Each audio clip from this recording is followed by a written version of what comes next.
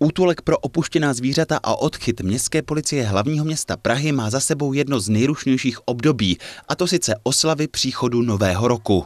Ten útulek fungoval víceméně jako detektivní kancelář, takže jsme, pokud lidi zavolali včas, skontaktovali lidi mezi sebou, takže vůbec nemuselo jít uh, to zvíře přes útulek, nicméně 20 psů na útulku zůstalo a z toho jsme jich 13 už vydali původních majitelům. Příchod nového roku a s ním spojené ohňostroje, dělobuchy a petardy jsou pro zvířata stresujícím prvkem a i proto mají v tomto období v útulku napilno. Pokud někdo najde psa a ten pes je klidný, tak se podívá třeba na obojek a pokud tam telefon, zavolat.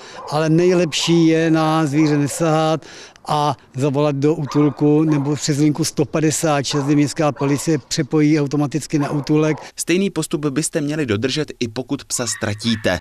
Stojíte-li o nového čtyřnohého mazlíčka, v útulku jsou k dispozici malá štěňata. E, ke konci roku jsme přijali poměrně hodně malých štěňátek, které vlastně ukončili karanténu a dnešním dnem je vydáváme už od rána, takže kdo si pospíší, tak může mít štěňátko. Uplynulé vánoční svátky byly v útulku městské policie i ve znamení dnů otevřených dveří. Útulkem prošlo přes pět tisíc e, lidí, kteří se přišli podívat, jak ta zvířata e, jsou ubytovaná, jak se o ně staráme. Vybrali jsme rekordních 8100 kg krmení, což máme vystaráno na tři čtvrtě roku, za co ještě jednou moc děkujeme. Další nápor očekává vedení útulku na konci ledna, kdyby se sem mohli dostat psy, kteří byli například nevhodným vánočním dárkem. Lukáš Kubát, Televize Praha.